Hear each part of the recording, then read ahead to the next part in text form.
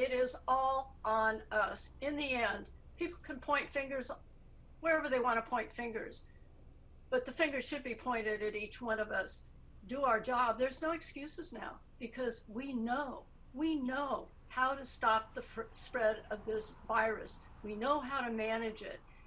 So let's just do it.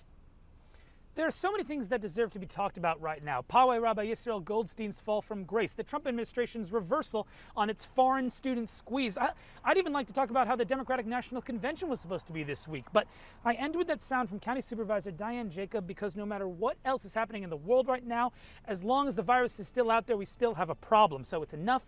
Wear the mask, do your part, because politically speaking, we would love to stop talking about the damn coronavirus. We'll see you next time.